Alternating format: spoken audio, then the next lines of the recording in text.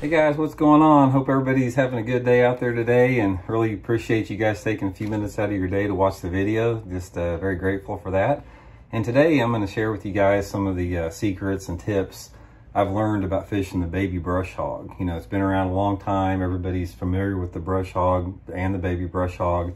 And I've got some stuff that I do with it I'm going to share with you guys. I think it'll add up to a few more fish. So Anyway, before we get started, just a couple quick housekeeping tips. I just want to remind everybody once again, if you guys are interested in any of our lake map breakdowns, go check them out on fishthemoment.com. Johnny and I are knocking them out for the fall right now. Got lakes all over the country broke down. It's a good way to build a foundation for the lake you're wanting to fish or learn a little bit better. You can check them out on fishthemoment.com. And also, I uh, just want to invite everybody uh, to, uh, if you guys are interested on any, any of the on-the-water lessons with myself, uh, I do a lot of on-the-water lessons around here, Table Rock Lake, uh, Stockton Lake, all these lakes around my house here. Send me, a, just shoot me an email on my Facebook page, Randy Blaukat Professional Angler, and I'll give you all the information on that. Okay, so let's talk about baby brush hogs a little bit. Started out with the brush hog.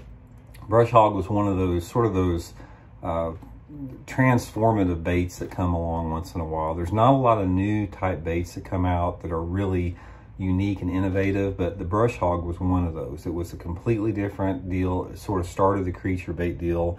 Um, and a lot of the stuff I'm going to talk about here with the baby brush hog is the same way. But anyway, the baby brush hog is just a downsized version of the regular size brush hog. And I'll sort of want to go through this thing and tell you some, some why and when I fish and under which situations. First of all, guys, the baby brush hog is, it's one of the, it's, it's not a secret, but yet it, it doesn't get talked about for the amount of people that fish the thing. There are a ton of pros that fish the baby brush hog, even if they're sponsored by other companies. There are a lot of guys fish it, a lot of the touring pros, simply because it produces numbers and size of bass. It, even though it's downsized from the brush hog, it still produces quality bass. The times that I like to fish the baby brush hog, I'm sort of, I'm going to go over a little bit, then I'm going to show you some modifications I do with it, is um, it's one of the best pitching and flipping baits that you can possibly have in cover that's not extremely thick. And what I mean by that is if you're flipping like laydowns, isolated stumps, um, sparse grass, boat docks, um, any of that type of stuff, some of the stuff that's not super thick and gnarly, the baby brush hog is just hard to beat. It is one of the best pitching and flipping baits that you can use out there. Normally, most of the time, I've experimented with a lot of different like sinker sizes on it. And guys, one tip I'll give you with the baby brush hog, you'll get a lot more bites on it, especially from the bigger fish if you go with a lighter weight. Most of the time, I like a 3 16 ounce weight, which is, a lot of people don't go that light a lot of times, but I use the 3 16 ounce weight anytime that I can get away with it. The, the way that that bait falls with a 3 16 ounce weight and 17 pound fluorocarbon line, it's just, it gets a ton of bites. I use 17 pound test Seaguar InvizX fluorocarbon with it, and I'm usually having it on my, on my flipping stick. And like I said, I'm picking apart any type of pitching and flipping cover that I get to. Um, it's one of the best baits that you can have, I found, if you're if you have a lake, like if you guys are in Florida, or if you fish some of the TVA lakes, or if you fish up north, if you have milfoil in the body water that you find and you've got that milfoil that's got holes in it, which is common throughout the country, the baby brush hog is one of the most deadly baits that you can possibly have flipping holes in milfoil. It's just absolutely deadly. And another thing that I found about this bait is it works all the year. I catch fish in this on this bait anytime the water is between 50 and 100 degrees. I mean, it works good early on in the year during the pre-spawn. It works all through the spawn. It's great for when those fish, you know, are close to bedding.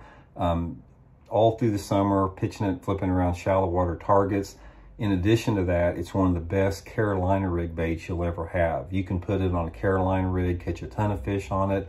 Another thing with this is a great bait to throw behind a football head jig or a swing head jig. If I'm using like the biffle head swing head jig, a lot of times I'm using the baby brush hog. This is like a huge secret down at Grand Lake. A lot of the locals down at Grand don't talk about that, but they use it behind a swing head and a football head jig uh, as well. So those are sort of the applications with it. Now I'm going to show you guys a quick modification that I do with all of them. Uh, then I'll talk a little bit about colors before I wrap it up. The thing that you want to do with this thing right off the bat is, like I said, I take a pair of scissors and I free up the arms on it. And uh, a lot of people don't do this, but I like to free up the arms. It has a little bit of wiggling, waggling. And then I'll take the tail. I've, I've done, I did a video on this on the regular brush hog, but I take the uh, flappers on the side and I'm gonna make two cuts in them, down the middle of them. And what this does, it gives the bait a little bit different look. It sort of flares those flappers out a little bit more. Um, also, aside from giving a little more action, it gives it a little bit different look and you don't have a solid mass of plastic there, so it's better for hook penetration. So that's the that's the first thing that I do for the modifications on it. Colors, I keep it pretty simple. Um, you know, I'm usually using some type of watermelon green pumpkin if the water visibility is greater than three feet.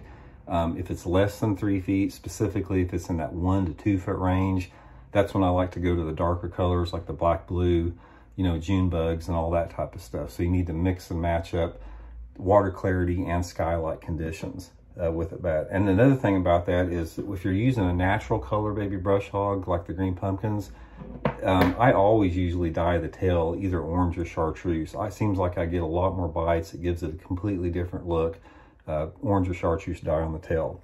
So anyway, guys, that's how that's some tips for the baby brush hog. It's an outstanding lure. If I'd say if I if you told me, Randy, you could have one creature bait to flip and you can't have any other creature baits all year long, it would be the baby brush hog. I've caught tons of bass on it. I've caught tons of big bass. A lot of tournaments get one on it. Super versatile. So um, check them out, try them out. I'll include the uh, Baitwrx link here. So if you guys would like to help the channel out here, you can use that link and order these things through Baitwrx, and it's a good way to support what I'm doing here on the channel. So once again, guys, appreciate you guys following me. Thanks for everything. Please subscribe if you haven't. We're going to be having a, a, a drawing at the end of the uh, month for some Bridgford beef jerky, and we'll be back soon with another one. See you.